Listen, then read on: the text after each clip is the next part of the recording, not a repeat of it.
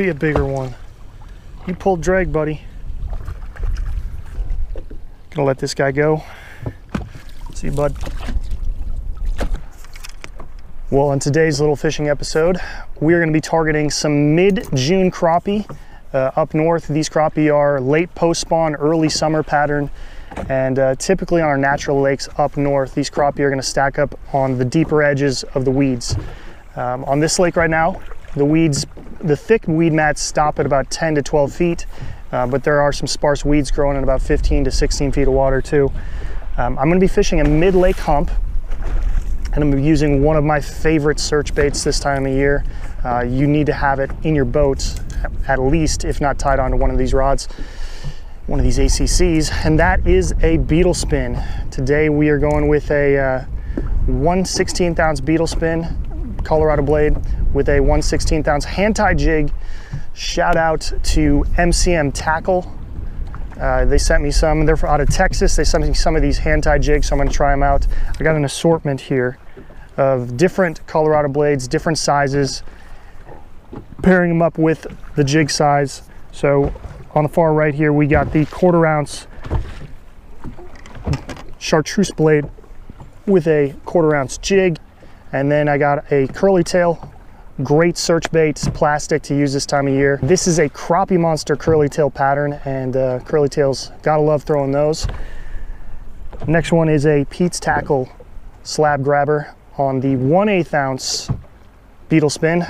This is just a uh, silver or a nickel Colorado blade, white ACC jig, and then the uh, purple and pink slab grabber by Pete's Tackle. And then I got a couple hair jig patterns here. 1 16th ounce, 1 16th ounce nickel blade, Colorado blade with the uh, little carrot hair jig. And a 1 32nd, 1 32nd ounce yeah, they go down all the way down to 132nd. It's windy. It's hard for that camera to focus, but that's a 132nd ounce with a another hand-tied hair jig. Key to uh, beetle spins, cast and reel it in. Uh, mix up the cadence a little bit. Sometimes work it a little bit like a jerk bait. Give it a little bit of pause. That does help trigger a strike. Uh, but this time of year, these fish are going to be schooled up. Well, I shouldn't say they're schooled up. Today they're going to be schooled up because we got a pretty strong wind out of the north. Um, typically, if it was flat calm, um, these fish are going to be spread across the entire weed bed. Um, on a day like today, they're going to be stacked up on the uh, downwind side uh, of the lake, or because we're fishing a mid-lake hump, we're going to be on the downwind side of the weed bed on this mid-lake hump. I'll show you some screenshots on side imaging, kind of what this looks like. It's not that big of an area. I feel like we're super dark. There we go. It's not that big of an area. Um, it's maybe about 50 yards wide by 60, 70 yards long and uh, yeah this it's very sparse weeds around it and then it's super thick on the shallow top of this of this submerged island um, so just, I'm just going to be casting around the edges these crappie actually there's a school of crappie that actually spawned on top of it which is not typical I don't think um, usually they they go to the shorelines to do that but uh, these crappie went from schooling to their post-spawn phase and now they're late post-spawn into their summer pattern. I don't think these crappie are gonna stay here throughout the summer. I think it's just one of those things during the month of June um, after they spawned, we're kind of in that in-between phase. And so once summer pattern kind of rolls through, these water temps get into the mid 70s, upper 70s, they're gonna push out and uh, find some deeper cover in 15 to 20 feet of water as summer rolls on. But let's go anchor up. I got pushed off the got pushed off the the place where I'm fishing because of this wind, but let's go anchor back up uh, with the anchor lock on the Garmin here and we'll go catch some crappie.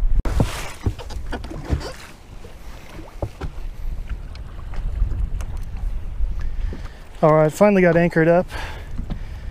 We're anchor locked on this edge of this weed line. I don't know if you guys can see that, but the weed line's just a big pile of weeds right here and then it stops right here.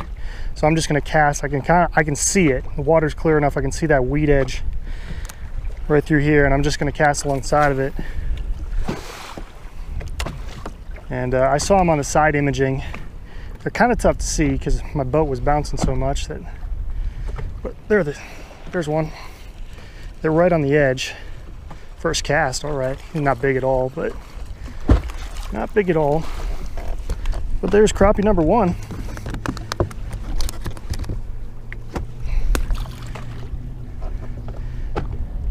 This is just a great tactic. If you're not sure kind of where these fish are set up, you can cover a ton of water with this. It's just a classic go-to. Oh, was there another, that was another tap. I saw what I thought was a school on side imaging, but these waves are, when these waves start rolling, your transducer bouncing up and down, it's, it can be a little tough to see schools of crappie. I think I got a couple screenshots for you, side imaging, what they look like. Somebody asked in the comments section, how would you go about anchoring up on a spot like this? Is that another fish? If you didn't have, uh, if you didn't have a trolling motor at all, I think was the question. On a day like today, I'd probably anchor, throw the anchor in the middle of the weed bed because I don't think these fish are in the middle. And uh, kind of let it drift back till that anchor rope's at about a 45 degree angle before I tie it off on a boat cleat. But uh, as far as trying to be quiet, I don't know. If you don't have a trolling motor, it's it's tough. So one question I did have, and I do read the comment section. So if you do have a comment, post in the comment section. One question I did see is, uh, when I find them on LiveScope, can I go over them with the down imaging? Because I know a lot of you have uh, sonar units and they only have 2D sonar and down imaging. Uh, you may not have side imaging. So this is what they look like on down imaging. Typically, oh, there's one following it up. Come on, buddy. No, didn't want it. Uh, typically down imaging, you know, we're in about 13, 14 feet. So you could definitely idle over the school and see them on down imaging. The problem is usually when you're less than usually when you're less than 10 feet of water, uh, you don't want to go over the top of them. You're just going to scatter them um, unless you're on a brush pile or you know some sort of fixed piece of structure. Even though this is a big weed bed, well, smaller weed bed than what's on the rest of the lake, but even though this is a weed bed, you can still scatter them in about 12 to 13 feet, especially because this water is pretty clear. Probably right in the sun on that shot, but there would be a nice one for the frying pan. Well, these fish are actually pushed. When I first found them before I started filming that intro, they uh, the wind wasn't this bad, and these fish actually pushed way off this weed edge. Well, not way off, but they're they're about 20 feet off the weed edge towards the downwind side. I think they just got the with these waves coming through. There's just so much current from these waves pushing them right out of these weeds. Um, there's nothing they can really hide against because this is just a wide open spot all the way around it. it. Drops down into 25, 30 feet and it just comes up to this eight foot point or eight foot submerged island. So it looks like these fish got pushed right off the edge. The good news is these waves actually pack them up pretty tight. Um, they're schooled up. I mean, there's there's hundreds down there. They're schooled up real tight. Oh, there he was. Dang it. Right there at the boat. Right there at the boat. That's a little guy. But he choked it. He choked it.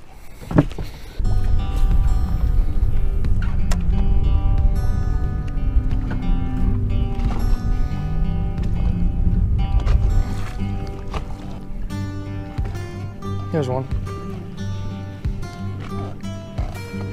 Be a decent one. It's hard to tell he's bumping into the weeds.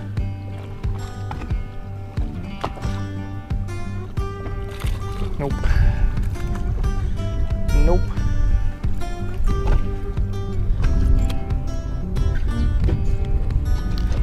Well, you are going to catch a ton of fish. It's just you might have to weed through those those smaller fish with these these setups.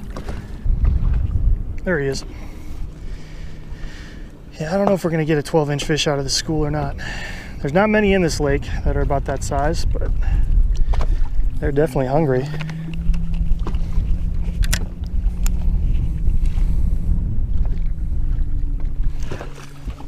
Definitely hungry today.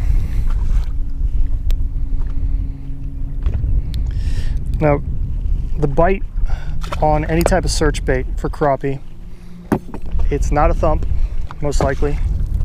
Uh, the bigger crappie are going to push your line, so it's going to feel like your rod tip's just unloading. But typically, you'll just be slow reeling, and all of a sudden they'll just be dead weight. You might feel feel few taps once they grab it and try to start turning, but it's, it's not gonna be like a thump. It's not like vertical jigging um, where those crappie will come up and thump it. Ooh, that might be a better one. When you hear drag, usually it's a better fish, unless he was just in the weeds. I'm guessing that's what he was. He was just in the weeds. I don't know if you saw that, that the rod tip just loaded up. He's not a big fish. He's another nine incher. Um, rod tip just loaded up, and once once you set the hook, or once you drive that hook into their mouth, because you're continuing to reel, then you might feel some twitches in the rod because they're trying to turn with that bait. But typically, it's just a load up of the rod tip. Let's see if we can get another one here. Seems like that. I've been trying to cast in the same spot because, right, yep, right there. Just that rod tip loads up. There's a ton of them down there, but they are not big. They're hitting a pretty decent sized bait too. This is a, I believe this is a two and three quarter inch curly tail, 3 16th ounce jig. These guys are definitely hungry today. See bud.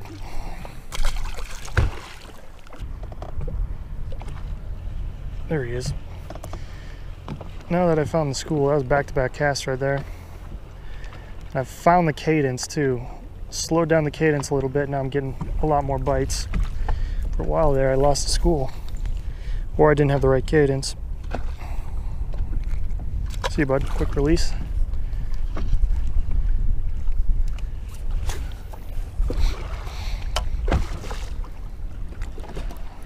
Oh, be a bigger one.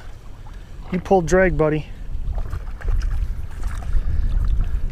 It's a little bit better one. They're still all about nine inches.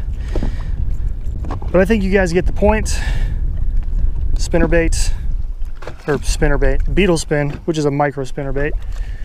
Great, great search bait presentation for these early summer pattern crappie on these weed beds up north. Gonna let this guy go. See you, bud. So there you go. Beetle spin. You better have it tied on for summertime crappie fishing up north. Even, even some of you guys down south, this could be a very effective way to catch those fish. They're sitting in those shallower brush piles uh, this time of year. Awesome, awesome go-to bait. Just cast it over these weed edges uh, during the early morning, late evenings. They're gonna be stacked up closer into the weeds. Today we're we're fishing them kind of late afternoon, early evening, so they're pushed out. Plus the wind's gonna push them off these weed edges, but great tactic. I'm throwing the, uh, I'm using the six and a half foot ACC Crappie Stix casting rod. It's got the smaller eyelets here for uh, precision casting. And then I'm going with the 1000 size Piscifun Viper X spinning reel, six pound mono, straight mono. Um, you don't, this is not a complicated setup and it covers a lot of water this time of year to find those fish. Typically, they're not gonna be stacked up this tight. The wind definitely helped today, push these schools tighter together. If it was a little bit calmer, I would actually be trolling around this mid-lake hump and casting in every every different direction, trying to find these fish uh, because they're not they're definitely not going to be schooled up as tight as they were today. But because we had the wind, helps out a bit. So, um, got any comments or questions? Post them in the comment section below. Otherwise, you can message me on either Facebook or Instagram. Appreciate you watching as always. We'll see you.